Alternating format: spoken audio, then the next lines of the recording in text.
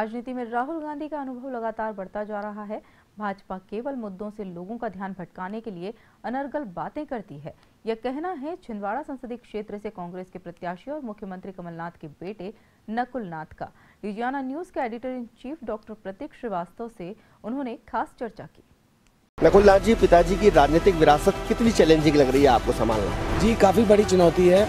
क्योंकि जब मेरी बात की जाती है मेरी तुलना तुरंत फ़ौरन कमलनाथ जी से की जाती है। पिताजी ने छिंदवाड़ा को पूरे भारत के नक्शे पर पहुँचाया इसमें कोई शक नहीं आज छिंदवाड़ा जो कुछ है वो कमलनाथ जी की वजह से सबसे बड़ी चुनौती हमारे छिंदवाड़ा ज़िले में बेरोजगारी की है।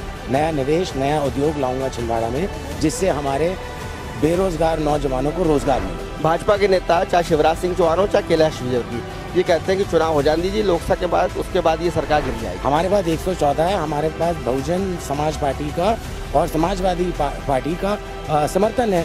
उनके पास कहाँ से है? राहुल गांधी को आप बहुत बचपन से देख रहे हैं आप उनके साथी हैं उनके मित्र हैं। बीजेपी ने उनके बारे में परसेप्शन बना दिया जनता में कि वो पप्पू हैं उनको कुछ समझता नहीं है।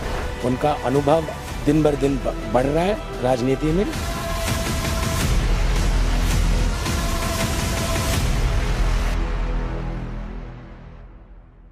नमस्कार, इस समय हमारे साथ छिंदवाड़ा संसदीय क्षेत्र के युवा प्रत्याशी, मध्य प्रदेश के मुख्यमंत्री कमलनाथ जी के सुपुत्र नकुल नाथ जी मौजूद हैं। आइए हम उनसे बात करते हैं। नकुल नाथ जी, पिताजी की राजनीतिक विरासत कितनी चैलेंजिंग लग रही है आपको संभालना? जी, काफ़ी बड़ी चुनौती है, क्योंकि जब मेरी बात की जाती है, मेरी तुलना तुरंत फ़ौरन कमलनाथ जी से की जाती है। और आप लोगों को ये बात समझना है कि उनका 40 साल पुराना अनुभव है। मुझे तो केवल 40 दिन ही हुए हैं राजनीति में। किस तरह से आप अपने पिताजी से इंस्पायर होते हैं? किस तरह से आपको लगता है कि वो इतनी सारी चुनौतियाँ, इतने सारे टास्क एक साथ संभाल लेते हैं मल्टी है? किस तरह से आप उसको, उनको लेते हैं, एक पिता के रूप में, एक नेता के रूप में? देखिए, मैंने उनको ज़्यादा नेता के रूप में देखा है। वो सुबह से शाम तक काम करते रहते हैं। वो मल्टीटास्किंग ज़रूर करते हैं। मुझे, मैंने जो, आज तक जो भी सीखा है, उनसे सीखा है।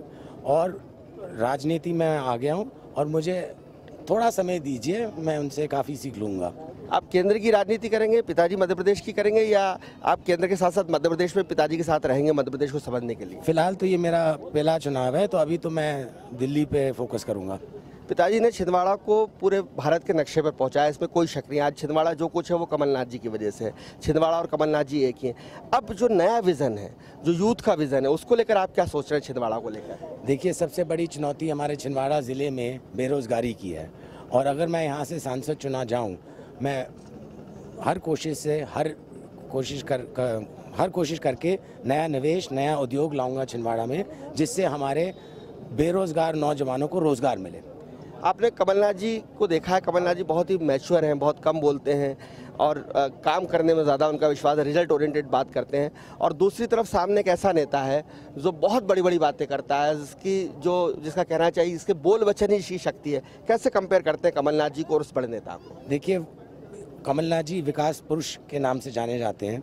मोदी जी तो बिना सोचे बिना समझे कुछ भी बोल देते हैं। उन्होंने इतने झूठे वायदे किए हैं अब जनता उनसे हिसाब मांग रही है उनसे जवाब मांग रही है।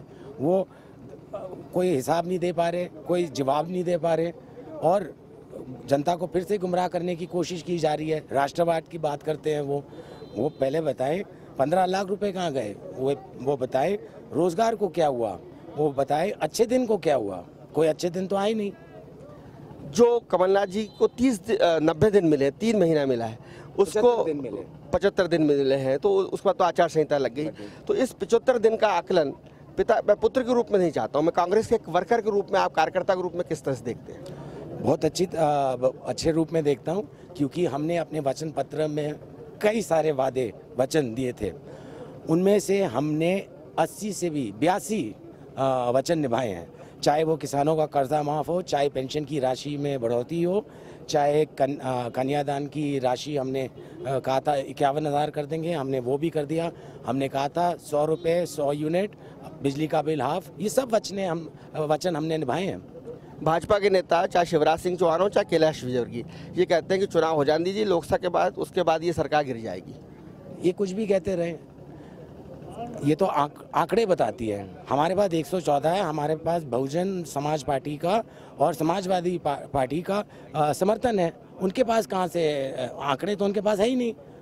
अगर उनके पास आंकड़े होते तो वो चुनाव के बाद कांग्रेस की सरकार को क्यों बनने देते?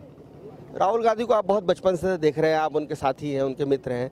कितने उनको लगता है कि उनको जिस तरह से बीजेपी ने उनके बारे में एक परसेप्शन बना दिया जनता में कि वो पप्पू हैं, उनको कुछ समझता नहीं है। आपने उनको बहुत नज़दीक से देखा है। आपका क्या परसेप्शन है कि किस तरह की उनकी सोच है? वो बहुत इंटेलिजेंट है। उनका अनुभव दिन बर दिन बढ़ रहा है राजनीति में। और देखिए, क्योंकि भारतीय जनता पार्टी के पास कोई मुद्दा नहीं है, वो सिर्फ़ ध्यान मोड़ने की राजनीति कर रहे हैं। पप्पू है ये है वो है। ये फलाना फलूना बात से कोई फ़र्क तो पड़ने वाला नहीं है क्योंकि अब जनता भारतीय जनता पार्टी को समझ गई है पहचान गई है और जनता हिसाब और जवाब मांग रही है। छिंदवाड़ा को लेकर आपका ब्लूप्रिंट क्या विकास का क्या आपका विज़न है? क्या छिंदवाड़ा को क्या आप आगे किस और ले आना चाहते हैं? सबसे पहले तो मैं रोज़गार मैं यहाँ छिंदवाड़ा में नया निवेश लाऊँगा नए उद्योग लाऊँगा जिससे हमारे नौजवानों को रोज़गार मिले। फिर मैं शिक्षा की ओर ध्यान दूँगा। छिंदवाड़ा ज़िले में मांग बड़ी देर से है कि यहाँ एक यूनिवर्सिटी आए। मैं सर्वे करा रहा हूँ और जब सर्वे के रिज़ल्ट आएँगे, तब हम डिसीज़न लेंगे कि यहाँ यूनिवर्सिटी आए। और फिर आप जानते हैं छिंदवाड़ा का मेडिकल कॉलेज खुला है। और मैं कमलनाथ जी और मेरी भी सोच ये है कि हमारे ज़िले से कोई बाहर इलाज कराने ना जाए बल्कि नागपुर से लोग छिंदवाड़ा आए इलाज कराने बहुत धन्यवाद। आप देख रहे थे नकुलनाथ जी को जो बता रहे हैं कि छिंदवाड़ा को लेकर उनका विजन क्या है और इस प्रॉमिसिंग युवा लीडर को देखकर लगता है कि छिंदवाड़ा अब बहुत आगे जाने वाला है बहुत ऊंचाइयों पर जाने वाला है। कैमरामैन मनोज सैनी के साथ प्रतीक श्रीवास्तव छिंदवाड़ा डिजियाना न्यूज़